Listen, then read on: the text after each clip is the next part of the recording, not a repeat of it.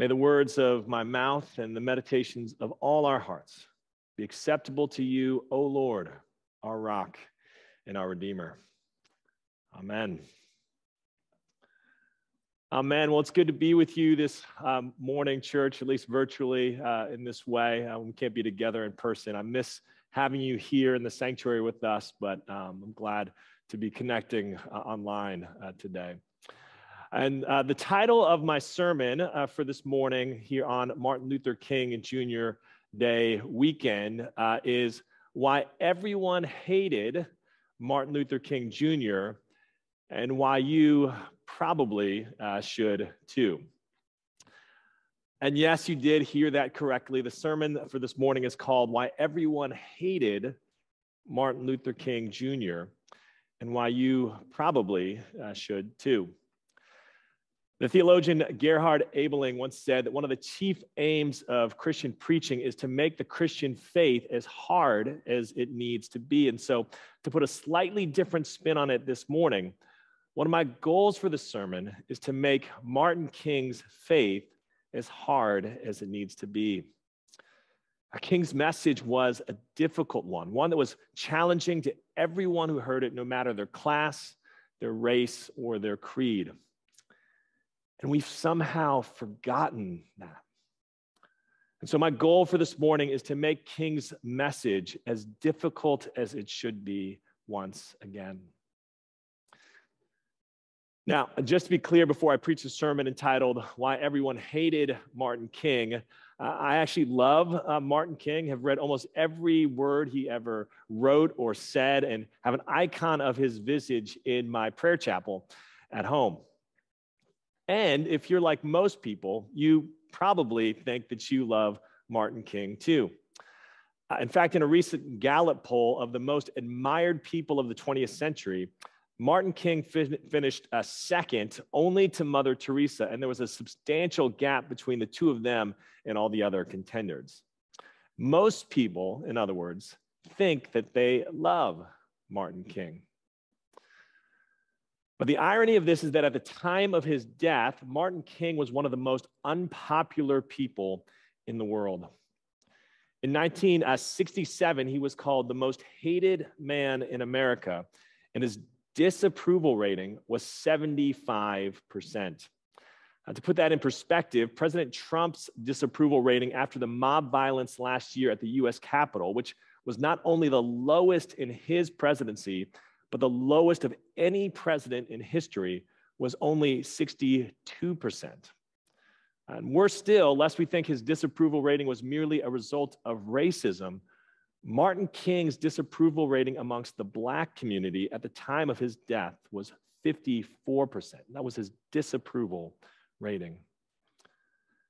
Now, think about that for just a second.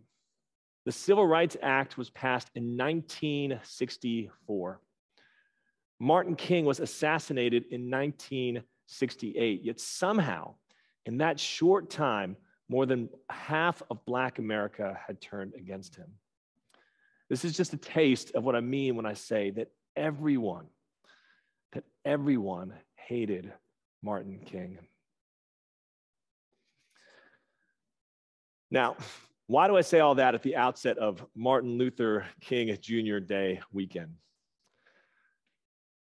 What happens so often with figures who have come to have the sort of transcendent popularity that Martin King now has, who we lionize with street signs or with national holidays, is that people who want to capitalize on their popularity tend to start reinventing them in their own image.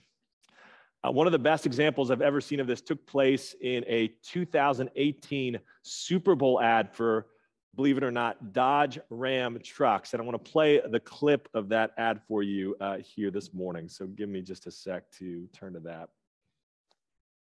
Um, hang on just one second.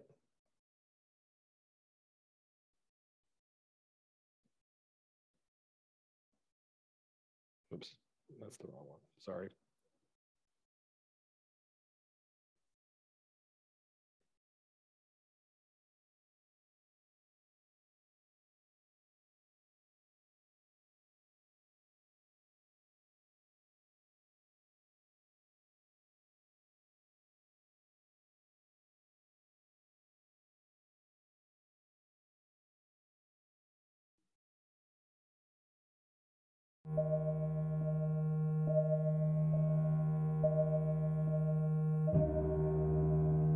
If you want to be important, wonderful. If you want to be recognized, wonderful. If you want to be great, wonderful.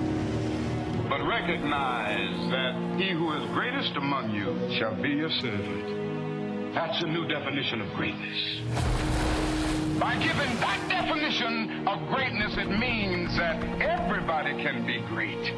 You don't have to know about Plato and Aristotle to serve. You don't have to know the theory of relativity to serve. You don't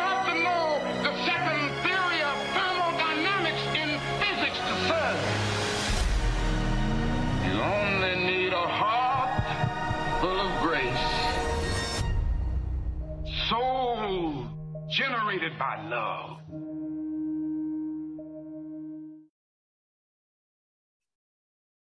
Now, by show of hands here, does anybody remember that commercial from 2018? Yeah, it was the worst commercial of all time, in part because if you know anything about the speech that was being overlaid on top of those images of Dodge Ram trucks, the actual meaning, the message of that speech, which was called the drum major instinct, is the exact opposite of what's being portrayed in uh, that commercial. Let me just uh, show you what I mean by actually playing that same speech, a different portion of that same speech overlaid over the same images you just saw. Uh, the presence of this instinct explains why we are so often taken by advertisers. You know, uh, those gentlemen of massive verbal persuasion. And they have a way of saying things to you that kind of gets you in the bind. In order to be a man of distinction, you must drink this whiskey. In order to make your neighbors envious, you must drive this type of car. In order to be lovely to love, you must wear this kind of uh, lipstick or this kind of perfume. And you know, before you know it, you're just buying that stuff. And I've got to drive this car because it's something about this car that makes my car a little better than my neighbor's car. And I am sad to say that the nation in which we live is the supreme culprit. And I'm going to continue to say it to America.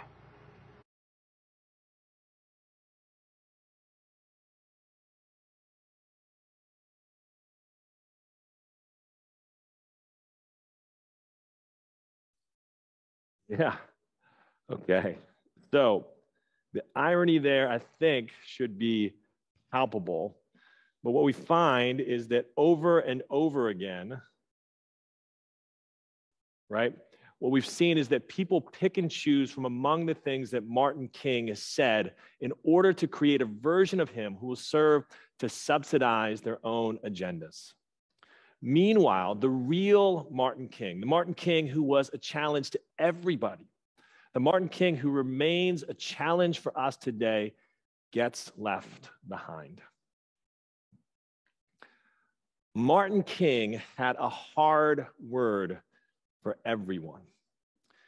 He was perhaps hardest on what he called moderates, who he said in his letter from the Birmingham jail were a greater obstacle to Black freedom than the KKK. And he was an outspoken opponent of what he called in the I Have a Dream speech the tranquilizing drug of gradualism. Make no mistake, Martin King preferred social revolution to social evolution. Though he was a pacifist, he was by no means passive. I am not sad that Black Americans are rebelling, he wrote in A Testament of Hope. This was not only inevitable, but eminently desirable. Without this magnificent ferment among Negroes, the old evasions and procrastinations would have continued indefinitely. And Black men have slammed the door shut on a past of deadening passivity. These are our bright years of emergence. And though they are painful, they cannot be avoided. Against moderates, King time and time again said, No, now is the time, as he refused compromise and middle ground solutions. At the same time, King was also heavily critical of what he called the liberals, both in the political sphere and even more so in the church. In the political sphere, King echoed Malcolm X's sentiment that he preferred Goldwater to Johnson, calling the former a wolf and the latter a fox, just as dangerous, but even more deceptive. Malcolm X also once said that liberalism in America means let's keep the Negroes in their place, but tell them we'll treat them a little better. Let's fool them more with more promises. And King seems to have agreed. In fact, King himself once said that he saw no difference between Nixon and Kennedy, which is a remarkable thing if you think about it in today's context. For the church, King wrote a series of essays called The Weaknesses of Liberal Theology, which he denounced for not taking the Bible seriously enough and for failing to acknowledge the deep sinfulness of the human condition. King felt that white liberals had the privilege of being sanguine about human nature in a way that Black people could not be, having lived through centuries under the oppressive thumb of slavery and mob violence and lynching and Jim Crow and so forth. He also criticized liberal theology for holding to ideas of love that were so pie in the sky that they never got to the practical work of creating real change on the ground. King called white liberals' concern for Black people a quote, sentimental affection, little more than what one would have for a pet, and accused it of being meaningless unless concretized into direct action. You could again almost imagine him saying to us today, St. Mark's Church, you say you're one of the most progressive churches and one of the most progressive denominations in the country. Well, don't just tell me, show me. Show me by going out into the neighborhoods and mobilizing for change through concrete action. Because if all your progressivism means is that you listen to the right podcast or you have the right signs hanging in the east yard or you put the right flags on your gate in the month of October, it doesn't mean anything. And you might as well be making America great again. I truly believe the King would have said that. Now, King's conflicts with conservatives throughout his life were, of course, more visible, but they actually accelerated toward the end of his life, especially through his opposition to the war in Vietnam. We don't tend to focus on this, but in the last years of his life, King turned much of his attention away from battling racism per se and placing racism aside two other great concerns capitalism and militarism. For King, these evils, as he called them, of capitalism and militarism were equal to and intricately interconnected with the evil of racism, which led many conservatives to believe that he was a communist ally of North Vietnam.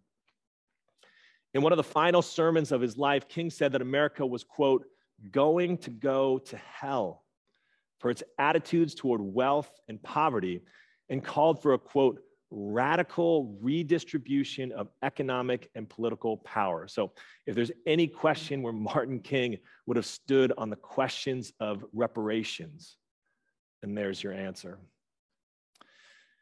And beyond Vietnam, he argued that America was, quote, the greatest purveyor of violence in the world, and also referred to American militarism as a, quote, demonic, destructive suction tube it was sucking the life out of the people, not only in our country, but people throughout the world. Now, it should be noted that it was also in shifting his focus toward critiquing capitalism and militarism that he lost much of the Black community too, either because they felt he had forgotten his cause or even more fundamentally because they disagreed that capitalism and militarism were interconnected with racism. But, and this is where King's message may be most challenging still today. King could not separate racism and capitalism and militarism for one basic reason. And that reason was Jesus. Now, King's logic here actually has two parts. First, he saw the interconnection between these evils in terms of Genesis 3 5. Ye shall be like gods. In other words, King believed that the ground floor of human evil was the pursuit of a godlike power exercised through attempts to control, master, and dominate other people. For King, whether the means of exercising that power was a military arsenal or transnational markets or racist ideology, the heart of the problem was the same the attempt to make gods of ourselves by, pick, by taking power over others for our own ends. And so, second, and because of this, King felt that the only resolution of these evils, the only resolution to these evils was the humility, vulnerability, and weakness of Jesus, especially as displayed in the cross of Jesus Christ. Now, greater attention has been brought in recent years to the fact that toward the end of his life, King was becoming increasingly radicalized. Martin was moving ever closer to Malcolm, as James Cone put it. And that's 100% true. But, and this was another way in which he lost some of the Black community by the end of his life, Martin never wavered in his fundamental commitment to the path of Christian nonviolence typified by what he said was the very center of Jesus' teaching the love, the love of our enemies. You know, if you want an easy strategy for getting everyone to hate you, just tell them to love their enemies. It worked for Jesus as well as it did for Martin. But for Martin, nonviolence and the love of enemies was not pious and idealistic, but practical and strategic. For him, there was an obvious and straightforward and common sense logic to it. Violence is a descending spiral, he argued, begetting the very thing that it seeks to destroy. Instead of diminishing evil, it multiplies it. So it goes. Returning violence for violence multiplies violence, adding deeper darkness to a night already devoid of stars. Darkness cannot drive out darkness. Only light can do that. Hate cannot drive out hate. Only love. Only love can do that. You cannot put out fire with fire, as the old saying goes. And so, for Martin, the only weapon that will prevail against the power, domination, and control at the heart of human evil is the weakness, fragility, and vulnerability of Christ's cross. As he writes, we must not return violence under any condition. This is the way of Christ. This is the way of the cross. We must somehow believe that unearned suffering is redemptive, the believer in nonviolence lives by the conviction that through this suffering and cross bearing, the social situation will be redeemed. Now, I don't know about you, but I find that teaching really, really hard. And frankly, I still have my questions uh, for Martin. But I pray, I pray that as we consider his words again this morning, that challenge might come to us in fresh ways, even in as much as we might hate him for it. Amen.